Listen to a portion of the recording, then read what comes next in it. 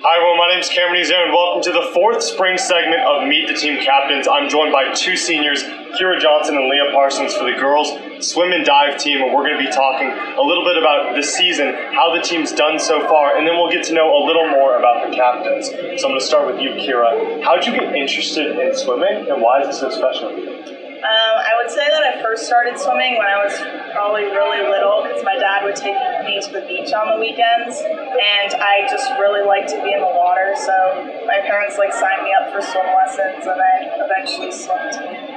And yeah, it's just been a really great way to like relieve stress and not focus like on school or just do something else. So yeah. And Leah, how did you get interested in diving? Why is why is it special to you? Um, well, I was actually a gymnast for a really long time. And so gymnast, gymnastics is like super hard on your body, and so I actually had a stress fracture in my back. Um, and then one of my friends was in diving, so they recommended it. And it's a lot of the same movements, so I could incorporate um, the flips I've learned into another sport that's kind of less hard on the body.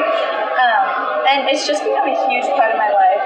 Um, I'm at practice every day. I've made some of my best friends from the sport, and it's given me so many opportunities that it's just a big part of my life. And Kira, you mentioned your dad. There are a lot of people in sports that are role models that keep your career going. Who in your life has really impacted you and led you to continue your career all the way to senior year? Uh, yeah, I would definitely say my parents. Uh, there were a lot of times where I didn't really want to keep going with swimming, but they really pushed me to stick through with it. I'm really glad that I did. And then I would say also Kaylee Castro, she's my coach here. Um, she's been really helpful in keeping me on the right path and always motivating me to do better. So. And Leah, the same with you for diving. You mentioned your friends. Obviously, parents do have an impact in your sports. Who in your life has become a role model that has helped you continue your diving career all the way to? Um, so definitely, I think one of the huge influences on my diving career was my coach, Boland. Um, he's been my coach since I first started diving, and he's also one of the people who I see every single day. So he's seen me grown um, as a person and as a diver. As well, I think my parents have definitely had a huge impact. Um, like Kira said, um, they're always there to comfort me after like a rough practice or a rough meet. They never miss any meets. And as well as my teammates have always been there for me. And now that you guys are seniors, I'm going to ask this specifically to you, Kira. What does it mean to be selected as a team captain on this team? Well, it's definitely an honor. Um, also, kind of a big responsibility. At the beginning of the year, I wasn't exactly sure like what that meant, but um, yeah, I've definitely really understood like what it means to be a team captain. You know, got to be approachable and set a good example. So. And Leah, you can probably attest to a lot what Kira said. What do you think makes a good team captain? Um, I think definitely with a sport so individual as swimming or diving, um, one of the main things that a team captain should take care of is kind of the team ambiance, I guess, and the togetherness of the team because it is such an individual sport because you're swimming like alone for a lot of practice. Um, and so it's really important to have teammates to fall back on. And so I think a team captain should make sure that that is available for you. And Kira, for someone at the school that wants to play another sport but doesn't really know which direction to head, why should they head towards the pool deck and join the swimming team? Well, I mean, other than swimming being a really great workout, uh, some of the the girls on my team are some of the kindest, most genuine people I've ever met. And if you are looking to make new friends and get in a great workout, I think swimming is definitely the place for you. And being Leah, being that diving, there's not a lot of divers here at Bishops. Why should someone maybe step out of their comfort zone and join the diving? So definitely what you say about stepping out of your comfort zone is a huge part of why you should try diving. Because I mean, it's not every day you throw yourself off of like platforms or land headfirst in the water. And um, a lot of people see it as scary at first, but a big part of the sport is overcoming those fears, and you always feel super satisfied once you do and good about yourself. And I think um, that says a lot about the sport and why you should try it. And Kira, at the beginning of the season, a lot of teams set goals and then hope to accomplish them by the end of the season. what goals did, uh, in specific, the girls swimming and diving team set, and how do you think you've accomplished them so far?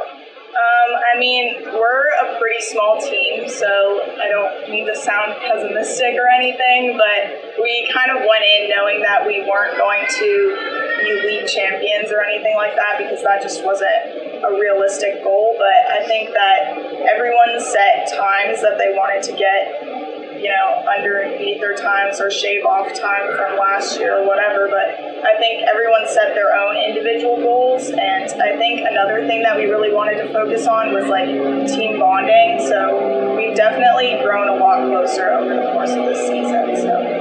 And Leah, being that you are the only diver in the girls program, what individual goals did you set for yourself this season? Um, well, as my last season, honestly, one of my goals was just my biggest goal probably was just to have fun um, with my friends. Also, I wanted to connect more with the swim team this year because it's been pretty individual over the past few years, and especially being team captain this year, I kind of wanted to get to know more of the girls on the swim team. And so I went to a few meets this year, and I was able to talk to them more, and I think I accomplished that goal a little more. And Kira, for someone that attends such a rigorous school in academics as Bishops is, how do you balance your a- athletic, your academic, and your social life? And what are the biggest challenges of doing so?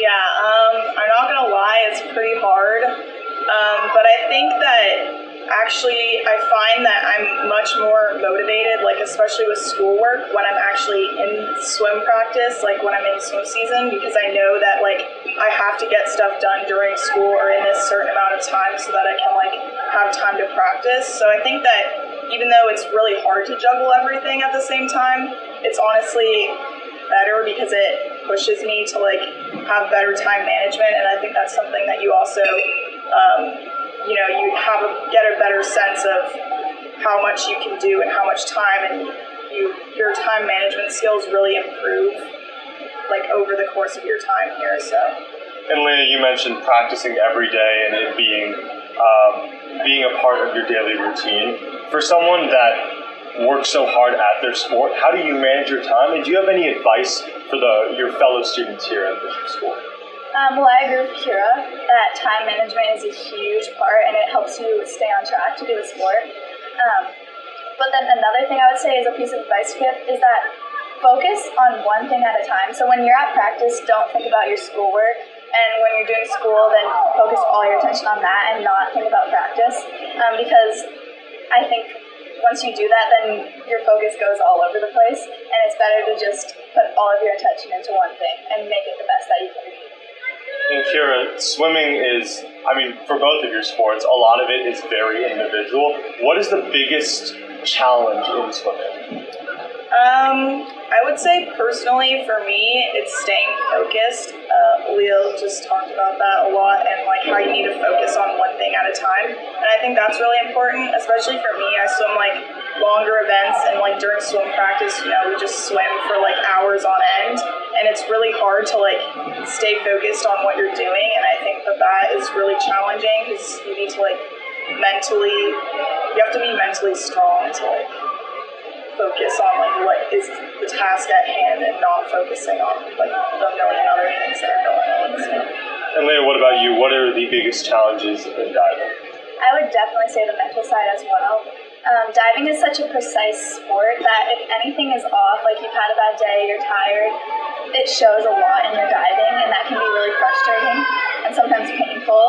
Um, and so, knowing how to manage your emotions and your stress when you're at the pool is a huge part of that. Um, and also, getting sleep helps a lot um, for your mental game as well. Right. Um, so now that we've learned a little more about the team and how the season has gone, we're going to ask a few questions that are on more the personal side to each of you. So, Kira, I'm going to start with you. What's your favorite sports experience? It could be as uh, as a uh, someone who's competing in a competition, or even just watching it on TV or going to an event. Um, I really like watching football with my family. Um, my extended family is from the Midwest, and we kind of have a rivalry going between like the Packers and the Vikings. So it gets pretty intense on game days, especially like when we're playing and the whole family's watching. So. What about you, Leah? Um, so a few weeks ago, I went to watch really high level diving. That was right here in California, actually. Um, and it was at a pool I practice at sometimes. And I was sitting like right on the deck. And so I was with all the athletes and all the coaches who were competing. And it was so amazing to watch them because they were hitting every single dive perfectly. And it was really inspiring. And so I think that's one of the best experiences I've had watching sports or in general.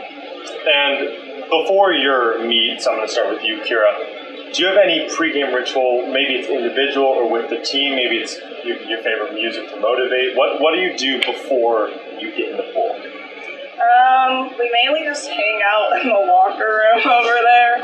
Um, and then like usually we give like some really dumb pep talk to like get ourselves hyped. So yeah. Leah, what about you? Um, well, one thing is I usually do my hair in the exact same way before every meet and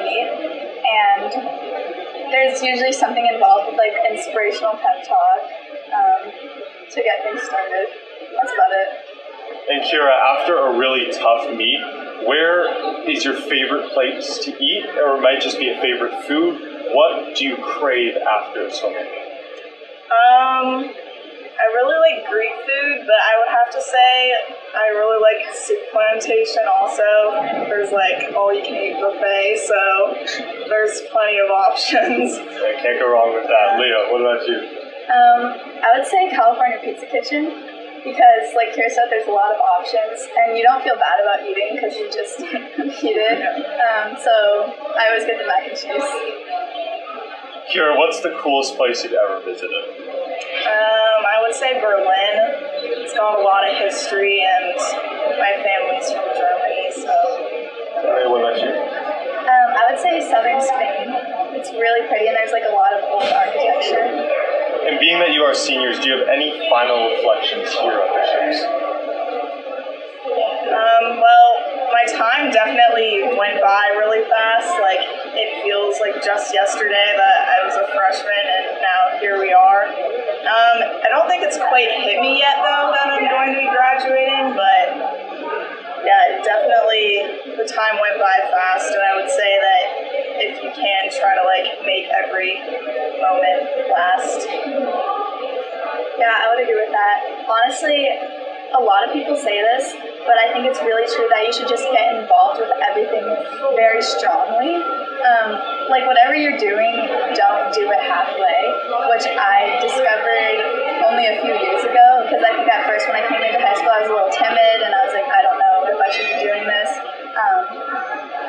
just put your full effort into everything that you do if you love it. And now that you guys are seniors, I'm just going to ask uh, a personal question to each of you. Kira, do you plan on competing at the next level in swimming? Um, not competitively, maybe like club or intramural or something like that, but not competitively. And Leah, I know that it was a long, hard process committing to Northwestern. Congratulations for diving. Um, how was that process, and how relieved are you that it's over and you know where you're going to be spending your next four years? Um, well, the process started beginning of junior year, maybe, when you send out all the emails to colleges, and it's kind of similar to actually regular college processes where you have to narrow down your schools, but I was talking to all the coaches and visiting the pools and things like that. Um, and so it took about a year and it was pretty stressful, so I'm glad that it's over. Um, sorry, what's the second part of the question? Just, it was just like, uh, how was the process and how are you that it's over now? So. Yeah, um, I've met all my teammates for next year, so I'm really excited. Um, and it's really exciting to look forward to. And with that, that ends this segment of Meet the Team Captains. Kira, Leah, thank you for joining me to answer a few questions about the team and how the season has gone so far. And if you want to check out the swim and dive team, well, they have city finals on Friday at La Jolla High. You know, it, it's a great competition to come and watch. Watch your fellow Knights compete. And with that, that's going to end this segment. My name is Cameron Ezeir, and I hope you have a great rest of your day.